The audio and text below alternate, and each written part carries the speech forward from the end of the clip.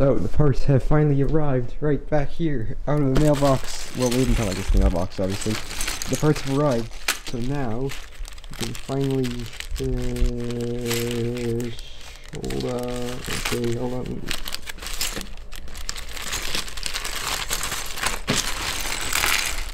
And there we go. Right there, now I can finally finish the Ferrari F50 GT. Here we go, here we go.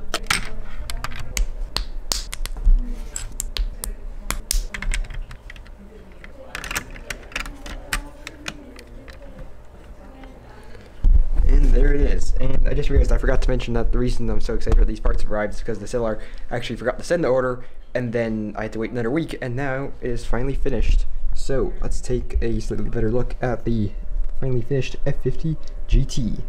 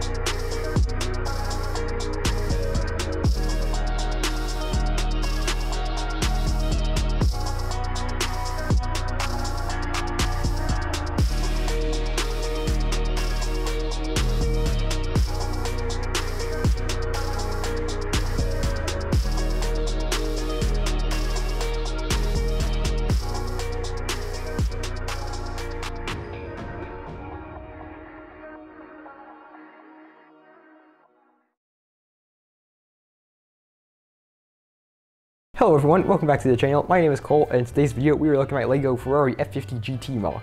Now if you are interested in building this model, instructions are available for it at my website and Rebrickable at the link in the description below. So first let's talk a little bit about what the Ferrari F50, F50 GT is, because a lot of you guys will probably know what the Ferrari F50 is, which was basically Ferrari's top of the line road car in the 1990s. It was a mid-engine V12. The V12 was derived from a Formula 1 engine at the time. It sounded really good. It's one of my very favorite cars and that basically how we, how Ferrari ended up making the GT version is that back in the 1990s you also had the GT1 race series, which is like a race series with different cars in it, I guess. And basically you had some very famous cars like the McLaren F1 GTR, the Porsche 911 GT1, the Mercedes CLK GTR, and cars like that. And so Ferrari said, okay, let's enter a car ourselves. We'll enter the F50. We'll turn it into a race car and put it into the series. And then some rule changes came along or something like that, and basically the people who were running GT1 allowed some teams to do some things and some not to do some things. I can't remember exactly what it was. Basically, Ferrari said, okay, at this point we don't want, do not want to go into GT1 after these rule changes or whatever, and so they canceled the project. Now, they had built three of the Ferrari F50 GTs. They were basically,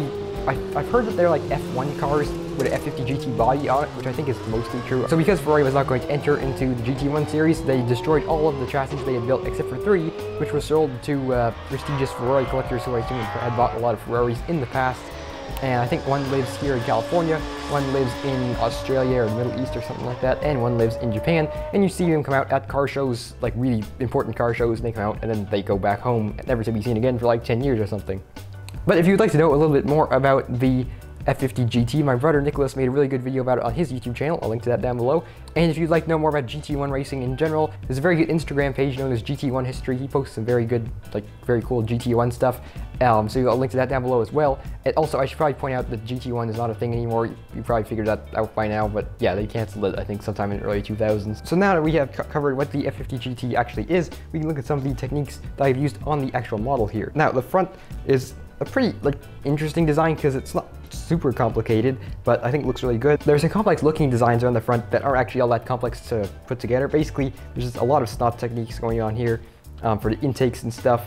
Around the bottom, we even have some upside down parts here to form the front splitter. Uh, I think they all came out really, really nicely. And then on top of that, we have the intakes, which look really mean. Obviously, they're a lot bigger than the ones on the standard road car. And then we have the headlights, and I originally thought these parts would not work as the headlights when I was designing it because I thought they'll be too narrow. They actually look really nice uh, when I actually finally put the whole thing together. And then, as you can see, we're using the city style fenders here, and we have some brackets around the sides, which kind of close the fender in to make it very, like, very close around the wheel. And that's because the actual Ferrari F50 GT had much more like streamlined body work than the road going F50 and so we're kind of trying to replicate that here with these brackets to kind of keep everything really like tight around the wheel. And then as you can see here we have the door. This is using the ball joint door hinge technique that I came up with for the Koenigsegg Jesko and basically this just allows the door to be uh, hinged at this angle here, which looks really good. And then we have the black stripe going up the side, which is formed with some brackets. It goes, as you can see, all the way from the front to the back, and I think that came out really nicely. Then we have this side skirt, which is very interesting because it sits lower than the body main like chassis of the car, but it sits above where the wheels touch, so it just doesn't drag along the ground.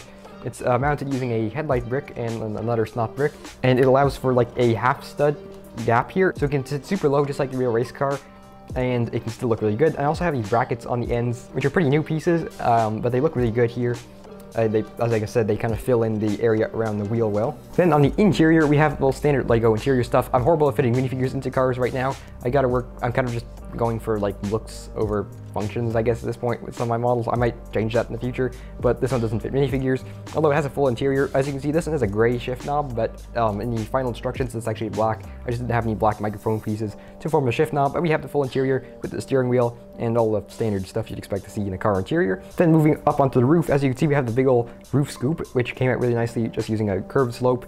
And then we have the engine cover, and this engine cover is actually pretty simple, but it looks it looks really aggressive because this car is literally only black and red, and it gives a really mean look. Um, the engine cover is entirely red with red grills, just like the real thing, and I think that looks really mean. Under that, we have some engine details. These aren't the greatest engine details. It's the first time I've tried putting engine details in a car, um, so I think they look pretty good. I probably could improve them a bit in like a version 2 sometime.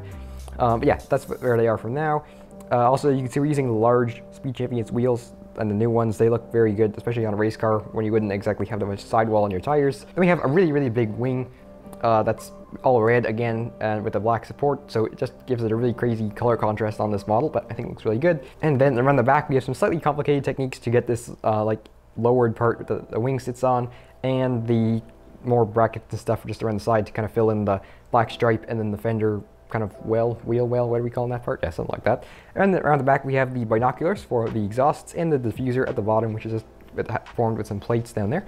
And obviously we have the tail lights. I'm also planning on designing a road-going version of this model, obviously like the standard road-going Ferrari F50, and that will be out in probably a month or two, something like that. I got a bunch of other models coming up here pretty soon. Um, so yeah, that's gonna be delayed for a bit. I also have a couple more Ferraris that I have designed, but I just have to find the parts to build them. So that's kind of being worked on in the background. We have another one coming up really soon. So now we're doing kind of like a bunch of Ferraris. I guess that's it for today's video. So thank you guys for watching and I'll see you guys next time.